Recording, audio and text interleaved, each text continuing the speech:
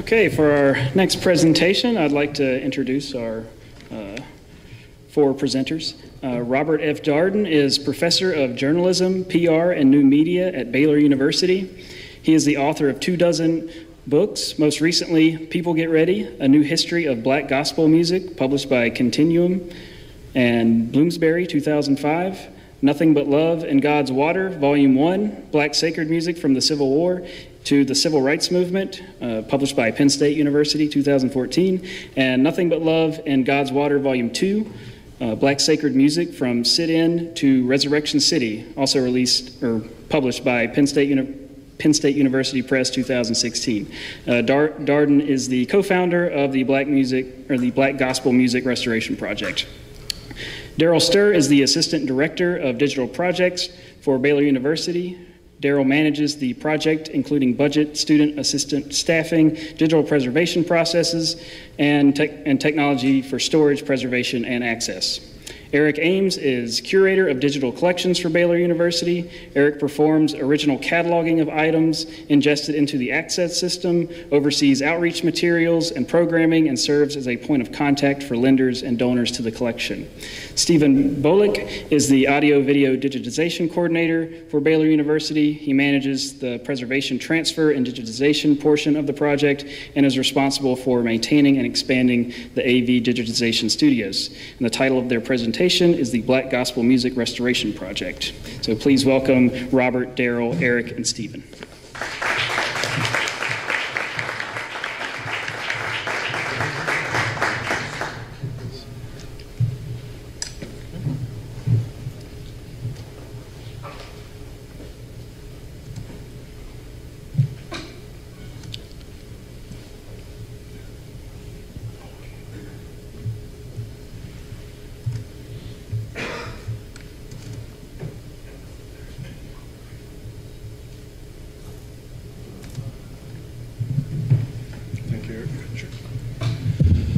Greetings. I'm so delighted to be here. We're going to talk about something that we think turned out to be pretty remarkable, although if you come from a private Baptist university like we do, sometimes we think of it in terms of miraculous. And if you'll indulge me, I'd like to talk this, start this with just a, a few personal comments, because from sometimes the tiniest seeds, great things do indeed grow. I was a military brat, and I grew up in the United States Air Force when it was formed as an integrated instrument of the federal government, and my friends are black, and I was in and out of their houses, and that was the music they played to the point where this music, black sacred music, became the soundtrack of my life, and it has never left me. I became the first gospel music editor for Billboard magazine in New York for 15 years and worked as a newspaper reporter after that and eventually a freelance writer. And it was only when I actually became to Baylor University that I got to write about my passion on a larger scale. And that was where People Get Ready, a new history of black gospel music came from. But in the course of researching People Get Ready, I would write about a song that had been a transformational song in American history, a song that changed lives, part of the civil rights movement, or influenced rock and roll, and I couldn't hear it. Couldn't find it. In the days, early days of eBay and Amazon, it didn't exist. And at the end of the book, which did very well and is still in print and still being used in colleges, I was more angry than I was happy because most of the music that I've been writing about I could not hear. So I called a number of collectors and we came up with a figure that 75% of the black sacred music released during the so called golden age of gospel music, say 1945, 1970, 1975 is simply lost, unavailable, in landfills, tied up in litigation, hidden away under layers of corporate mistrust, distrust, and gone. And in my arrogance, I sat down and wrote an editorial and sent it to the New York By God Times, which receives 800 editorial submissions a week. And on February 15, 2005, they ran it. And essentially, what it said is, this music, this foundational music of American popular music, should we allow this music to disappear, which is apparently what we're doing, future generations are going to be very, very harsh on us. And I used a word that isn't often used in the New York Times. I said, future generations will consider this a sin. And that editorial was read, as New York Times editorials often are, widely. And a gentleman in New York, Mr. Charles Royce, who is an investment banker, called the next day and said, I don't know anything about you, and I sure don't know anything about music. I'm Episcopalian. And what I would like to do is you figure out how to save this, and I'll pay for it. So I did what all smart academics do I went to the libraries. Now, libraries in the academic world, for you guys who are outside of that, libraries are like Switzerland. We're the only guy, the libraries are the only guys who get along with everybody else. And they try to help everybody. And I trusted librarians. So I met with the interim dean, the head of IT, Tim Logan, and Darryl Stuhr, who's on this panel today. And that was nearly 11 years ago. And I said, guys, this man says he'll pay for us trying to save gospel music. Will you can you help me? And why I love working with librarians is they always say, can do. And so, didn't even know where to begin. So, Mr. Roy said, well, go find somebody that's doing it and use that as a pattern. So, I called Chris Strachwitz. God bless him. I saw him at a record store yesterday. Chris, are you here? Hey, thank you, God. You saw us sight unseen, I called Lance Ledbetter at Dust-to-Digital to go with me out to protect me from all the heathens at Berkeley. and we went out and spent three days with Chris and Tom Diamant, and they had a very small thing going for what would become the Frontera collection of Mexican American music with UCLA. And I drew very crude schematics and jotted down some ideas. And came back and met with the librarians and turned it over to Darryl. I hope you still have that sketch somewhere. And they went off and months and months later came back with what would become the Black Gospel Music Restoration Project, saying, if he's going to pay for it, let's do it right. So they went out and found the very best equipment that they could find in the whole world. We figured we needed a couple years for audio engineers and cataloging. We sent that to Mr. Royce, and he sent by return mail a check for $350,000. So I retired from development at that point, knowing that I was never going to beat that particular time. And that for where it began. And word got around fast, and I think some of it was kind of the word people thinking how odd this is that a particularly white Baptist university in Waco, Texas, would want to be the center for preservation of black sacred music. And the discs started coming in. There were people going up in their attic. There were people who were finding out about us and sending us records that they had bought and people like Bob Marovich, who's here, I hope Bob down front, Bob, who's one of the, perhaps the largest collector of gospel music in America, very graciously said he would loan us his collection, and we've been digitizing it now for nine years, and we're still not halfway through his 45s. God bless you, Bob, for saving this extraordinary music when nobody else cared. And as the music came in, the word got out, and we were on Fresh Air with Terry Gross, and in the New York Times, and on the BBC, and nearly every NPR station and that meant more music came in. And very early, we began to see something that on the flip sides of the 45s, there were very aggressive civil rights related songs. At a time when singing one of these songs would get you hung up in Alabama or Mississippi, we were singing the flip side songs that were saying there ain't no segregation in heaven. And I believe Martin Luther King is right. And in a rare moment of inspiration, I made a connection to the old spirituals, the protest spirituals, where they sang songs of freedom and hope and justice right under the faces and noses of the overseers. And I saw that these songs were part of this almost apostolic connection. And it set me off on a 10 year journey to write what would become the two books. I'm sorry, I've already screwed it up, guys. I got it. Play that song.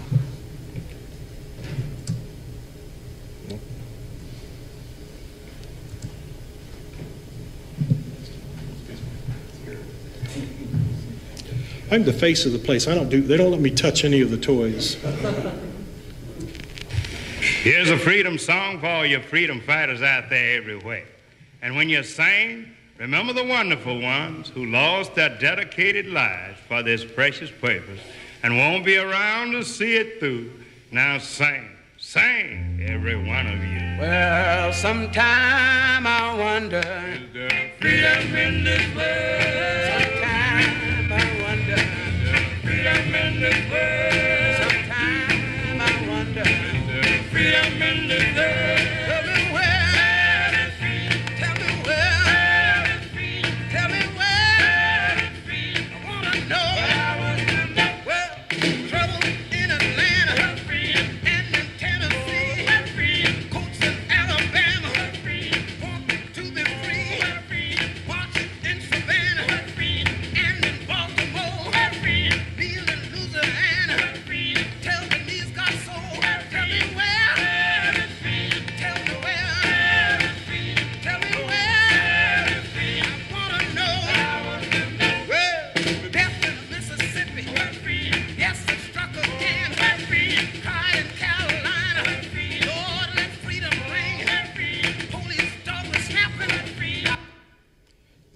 Song, again from Bob Marovich and many others, set us on a journey that took me to Nothing But Love in God's Water, where we went and interviewed 150 survivors of the movement. Seems that there's entire libraries of the civil rights movement, but no one had talked about to the people about the songs they sang and where and when and why and how they helped change the world. And this story will get picked up again, but before you get there, you have to get to the actual project itself and how it was put together. And for that, I'll let the guys who actually do the work take it from here.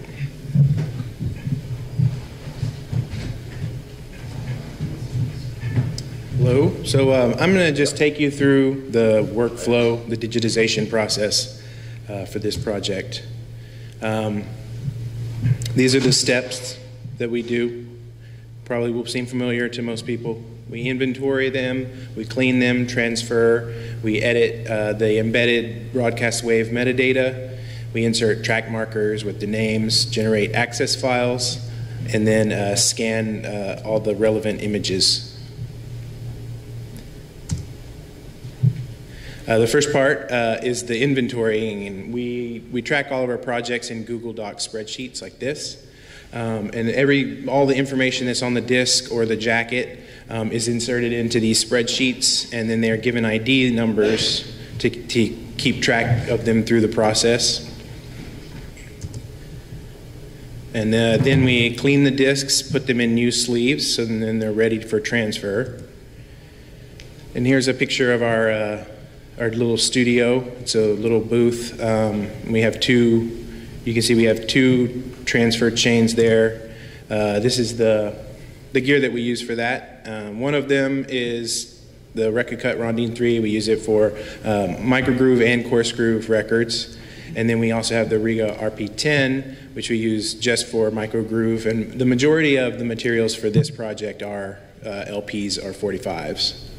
Um, and then that's fed into um, Metric Halo LIO8. That's our AD converter. Uh, for the microgroove records, we do uh, parallel transfers, and we use uh, Adobe Audition for that, and we um, switch back and forth between the two uh, in monitoring to make sure everything's going okay. And then we'll do a whole a whole batch of discs, and then open them up in BWF Meta Edit to edit the insert and change in the the embedded metadata, and that's uh, descriptive metadata and then also the technical metadata about the transfer. After that, we use WaveLab to insert track markers uh, to, and this is to help us create the access files later, um, and and the, it'll have an ID number and the song title that then that gets split and becomes the uh, the, the tracks for the access file. And then we generate an MD5 checksum for the preservation master, and then it gets copied to our preservation server. Uh, then we, we split these files to create the access files, and then run a batch process in WaveLab that ends up in an MP3. And we do a few processes there just to kind of make it a little bit more consistent uh, experience in, in our access system.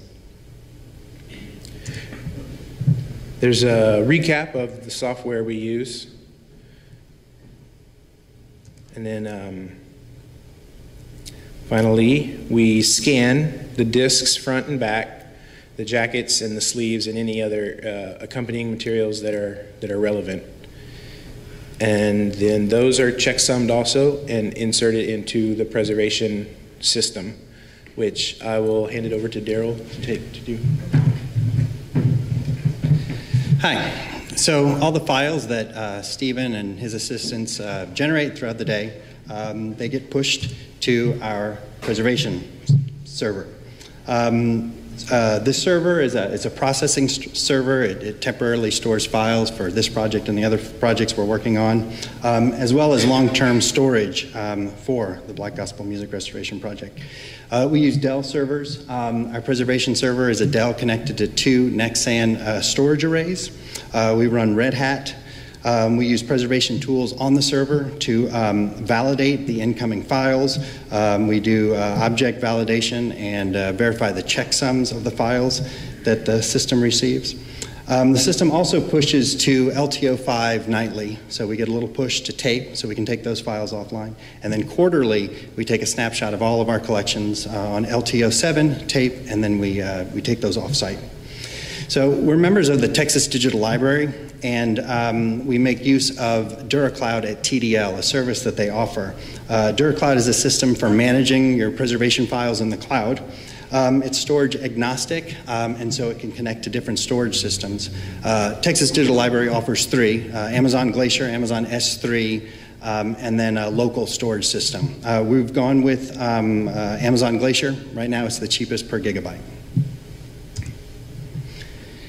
And so, um, so that's the preservation side. Um, access workflow is like this. We start with those initial spreadsheets that uh, Stephen and the assistants will generate. Um, uh, that's in Google Sheets. We will pull that data. Um, we'll use a, a, Perl script or two to uh, use the IDs, pull the data, and then um, access all of the, the digital objects, everything that makes up what we call a single record in our access system. Um, and that's pushed into Content DM. And on the right is a screenshot from our, our Content DM system. Content DM is a digital asset management system uh, provided by OCLC, um, and we use it to um, provide access to this collection and, and all of our others. And so um, ingest into the system is done with a local piece of software called the Content DM Project Client. Uh, screenshots on the left of a single record that's been ingested. Um, we use this system to do the cataloging. So all cataloging is done here. Um, the collection, uh, we use qualified Dublin, uh, Dublin core uh, plus additional fields, so not all fields will map to Dublin core. Um, most description comes from the jacket or the discs. Uh, sometimes we've got issues where we don't have enough information, especially with dates. Um, we actually use two date fields in order to solve that problem. Sometimes we, we may know a disc is from the 1950s.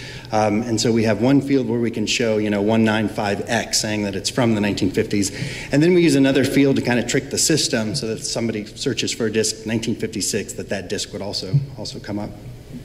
Um, we also use OpenRefine for metadata quality control. So Eric does most of the um, uh, cataloging for this collection at this point, but our metadata librarian can export the data of a single batch that we've uh, uh, uploaded um, put that into OpenRefine. Um, and for those of you not familiar with OpenRefine, it, it looks like a spreadsheet. Um, it, it's, it's a little bit more powerful, functions like a script, but everything is done live. So um, metadata librarian can see things that things will kind of jump out uh, if, if, they aren't matching up. Um, and uh, she uses it to normalize fields like artists. So artists are um, is a control field, and uh, she'll use Library of Congress authority records to uh, to make sure that the artist field is is consistent.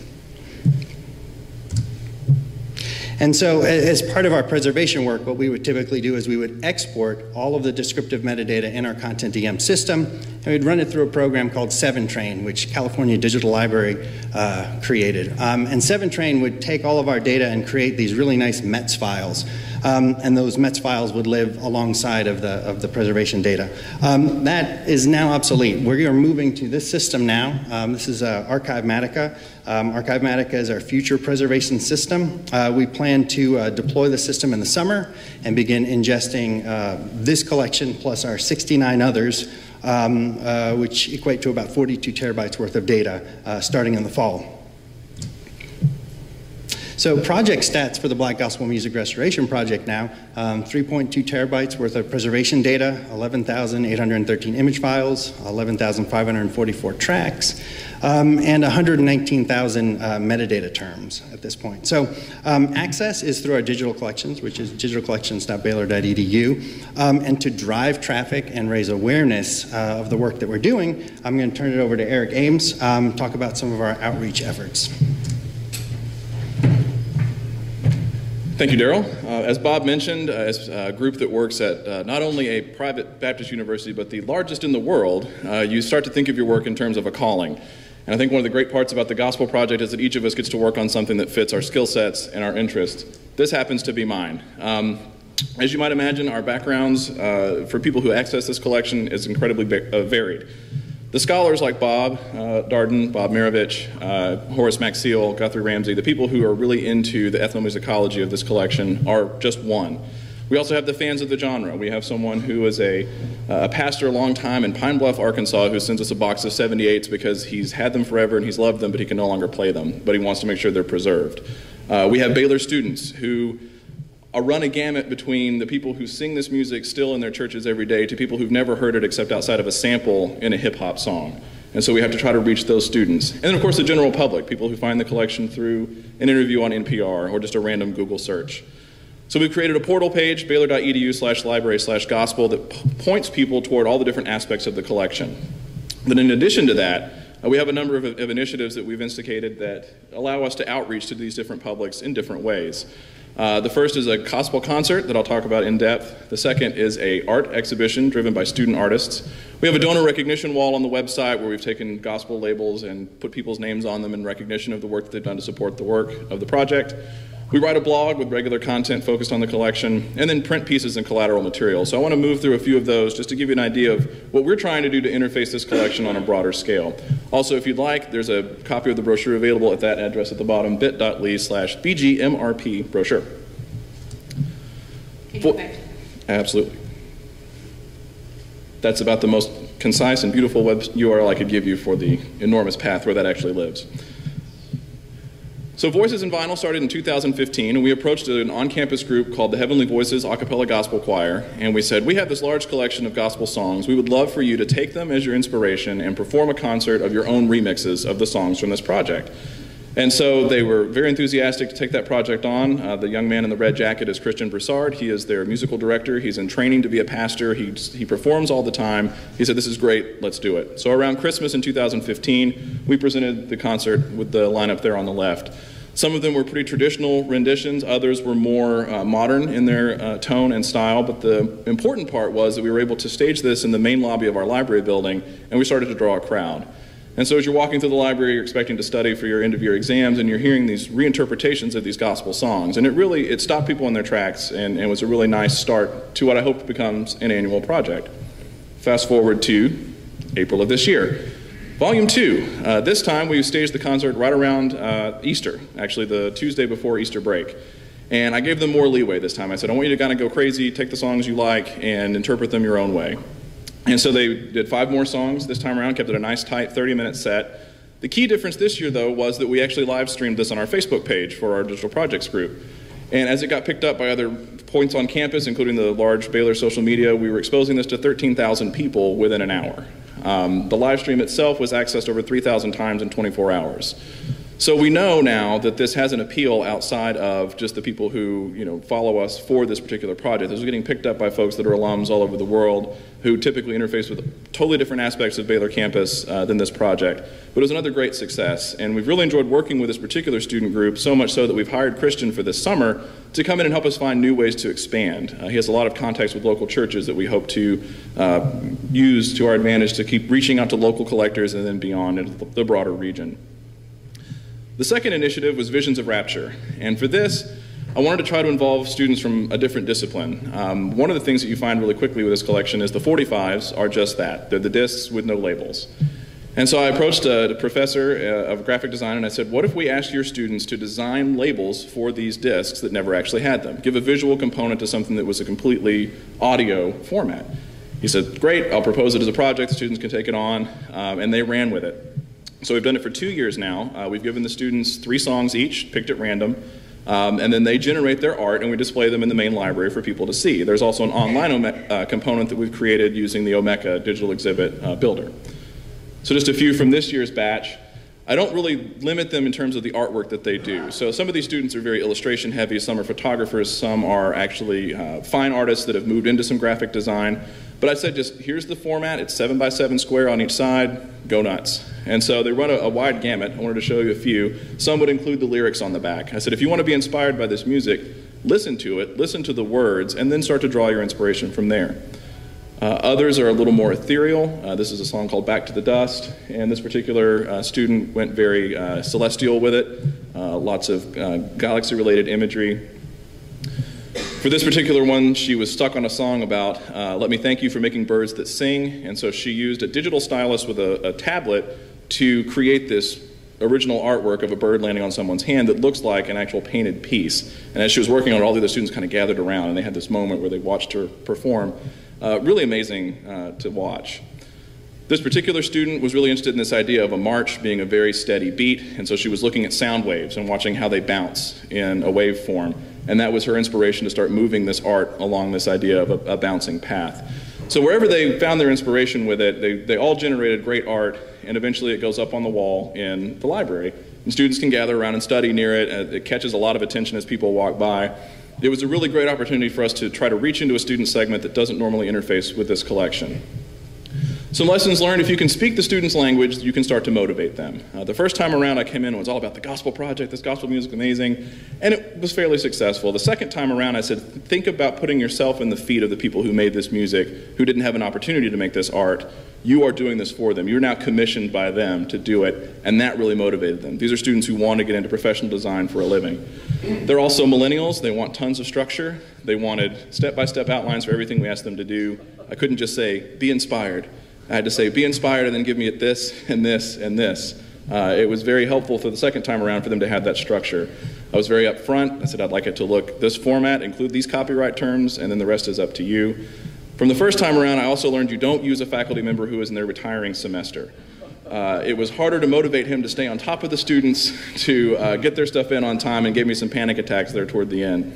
The second time around, it was a new lecturer who wants to make her mark, and she was much more on top of getting things ready. Um, a few other things that we've done for the project. Uh, print collateral, of course, uh, is important. The first two screenshots there are the front and back of our uh, six panel brochure that we created with our marketing group uh, in the library. Drawing inspiration from the poster there in the middle of the Dixie Hummingbirds, a late 70s poster, these great three color press, uh, red, blue, pink, yellow colors, uh, and then a, a profile view of an actual gospel singer from the Baylor Choir in the middle of a concert. So we kind of combined all these things together to, to kind of sort of form a color palette for the project. That carries over into the poster on the right, uh, just a number of uh, what we think are some of the more interesting labels from the collection, along with our URL and some Baylor Libraries branding. And then for the events that we go to now, uh, we got an opportunity to purchase some stand up vertical banners uh, from Camelback uh, out of Houston to be able to flank us at a table or to put around a concert. You saw a couple of these in the background of the um, Voices in Vinyl concert from this year. So we have four different sets of those the double black, we have the uh, profile of the singer. We have some posters from the collection, several from the late 70s, uh, all from one collector. And then the last one is a sort of fractured, fragmented look at a song that actually became a very important piece from our collection that I'm going to turn back over to Bob uh, for the wrap up.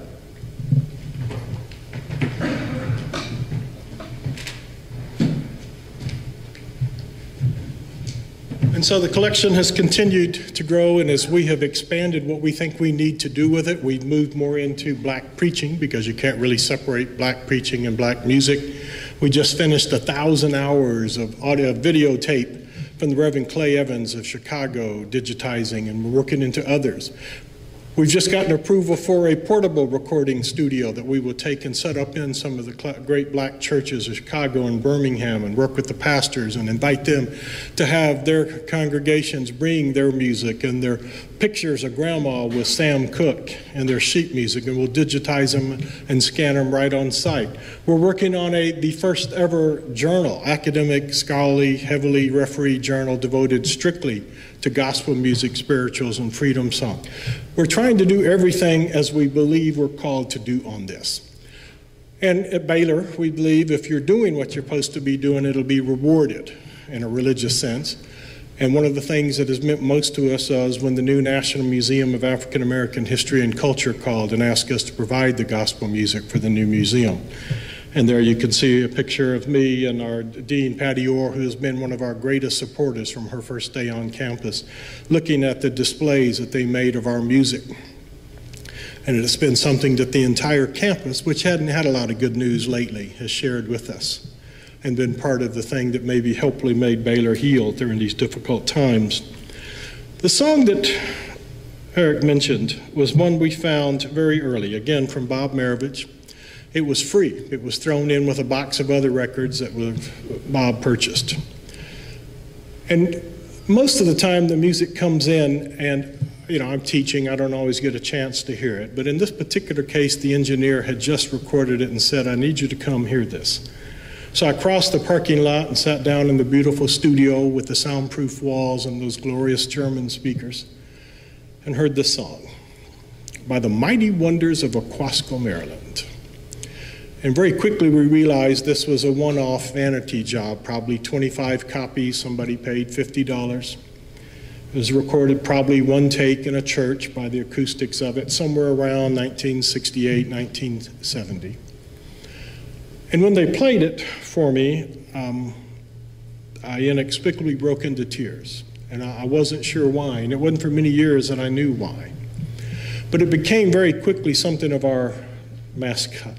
We played it whenever I spoke. And I, I spoke a lot on this. And it touched other people. And I did an interview for the NPR station in Baltimore. And the DJ said, Man, I, I love that song. Let me, let me put it on our website and let's talk about it. This is in our area that our airwaves reach. And maybe there's some members of the Mighty Wonders, because we had looked for years trying to track somebody down. We'd gone through census records, we had made phone calls, we had called. Aquasco is just a fly speck on the Eastern Shore. And there were members, and they had heard it, and they did remember the song, although none of them had it.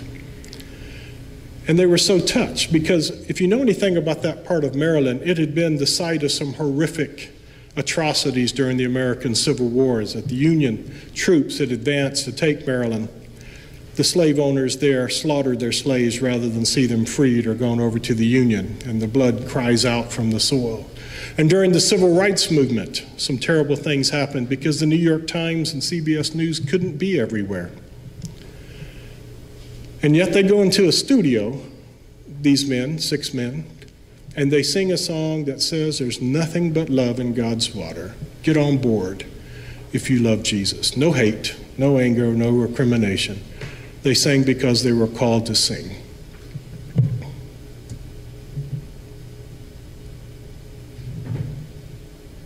Tis the old ship of Zion. Tis the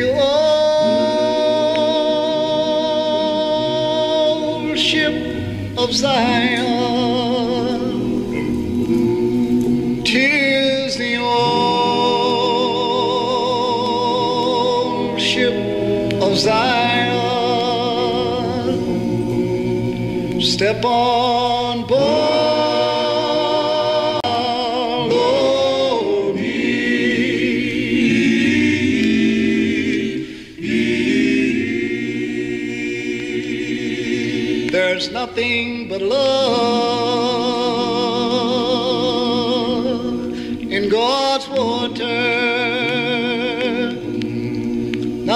but oh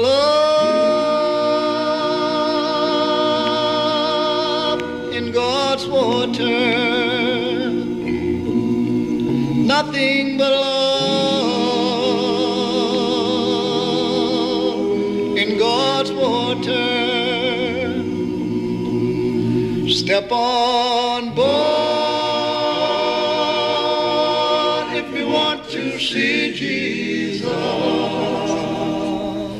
step on board if you want to see Jesus. Just step on board and follow me.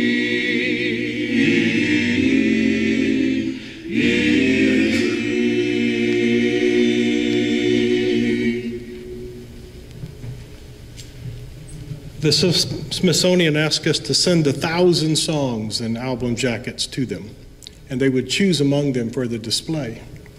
And then they asked us to narrow it down somewhat. That seemed a bit overwhelming of the most famous, the most important, and the most beautiful, and sometimes the quirkiest.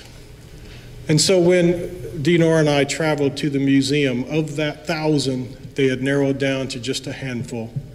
And one of them was the old ship of Zion by some nobodies that nobody had ever heard of. And when I told, and Eric, I told the members, surviving members, that their music was in the National Museum of African American History and Culture, and I said, Don't you wish the guys who have gone before could have heard this? And they said, Oh, Professor Darden, they heard it. Because we believe there's a cloud of witnesses with us at all times, those who have come before, and they heard it, and they were so pleased. And that's what we believe now at the Black Gospel Music Restoration Project. We're part of that creating, saving, preserving this music for the cloud of witnesses that have gone before and all those many souls who have yet to hear it. Thank you.